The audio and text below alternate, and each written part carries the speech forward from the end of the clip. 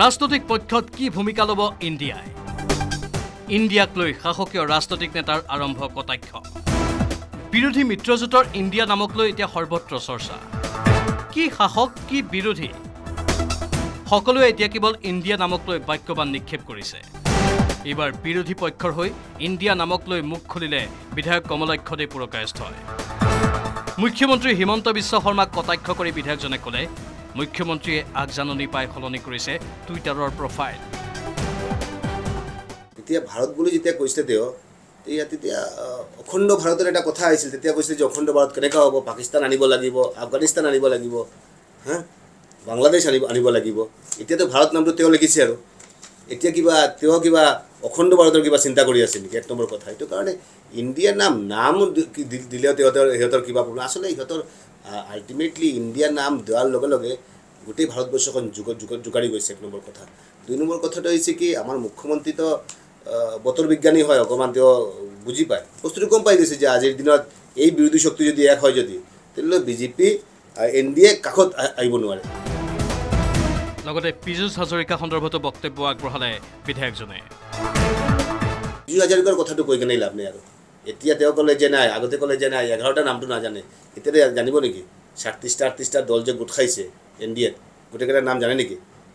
চ' তেইছ চৌব্বিছটা এনেকুৱা আছে যিকেইটাৰ কোনো হেৰিয়া নাই। এম পি নাই। যিকেইটাৰ কোনো এম পি নাই সেইকেইটা এন ডি এন ডি এৰ এন ডি এৰ হেৰি হৈছে। শৰিক দলৰ হেৰি হৈছে। মন্ত্ৰী হোৱাৰ পিছতে কোনো ষ্টাডি নাই একো নাই যি টি কোৱা আৰু আৰু কমিউনিয়েল কিবা এটা কথা বাৰ্তা কৈ কেনে আচলতে এজন মন্ত্ৰী যেতিয়া হয় তেতিয়া অকণমান ষ্টাডি কৰিব লাগে। বিৰোধী ঐক্যৰ ইণ্ডিয়া নামক লৈ প্ৰতিক্ৰিয়া প্ৰকাশ কৰিছে বিজেপিৰ বিধায়ক মানৱ ডেকাই। কংগ্ৰেছৰ ৰাহুল গান্ধীক আক্ৰমণ কৰি বিধায়কজনৰ মন্তব্য শাসকীয় পক্ষই বিৰোধীক গালি পাৰিব নোৱাৰাৰ বাবে নামকৰণ কৰা হৈছে ইণ্ডিয়া নামটো। সাত নিউজ একেলগ হ'লেও দুহেজাৰ চৌব্বিছত বৃহৎ ভোটত পুনৰবাৰ প্ৰধানমন্ত্ৰী হ'ব নৰেন্দ্ৰ মোদী। আগতে কওঁ ইউ পি এ মানে two G scam U P মানে ক'ল স্কেম ইউ পি মানে দুৰ্নীতিগ্ৰস্ত নেতা এনেকৈ কওঁ নে নকওঁ? এতিয়া অলপ আমাৰো গালি পাৰিবলৈ দিগদাৰ হ'ব।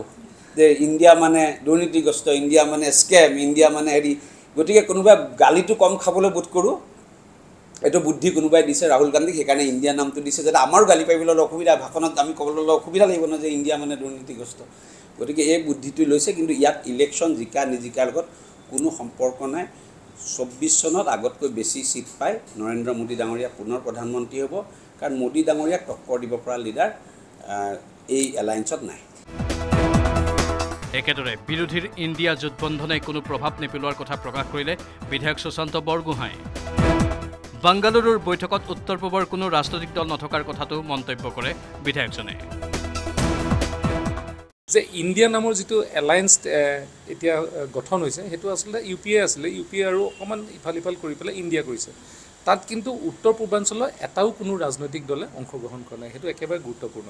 আৰু তেওঁলোকে উত্তৰ পূৰ্বাঞ্চলত আজি প্ৰায় পঁচিছখন ছিট আছে। প্ৰায় এটাও এটাও যেতিয়া দলে তেওঁলোকক সমৰ্থন জনোৱা নাই তাৰমানে ভাৰতবৰ্ষৰ এটা ভাগ একেবাৰে নাই।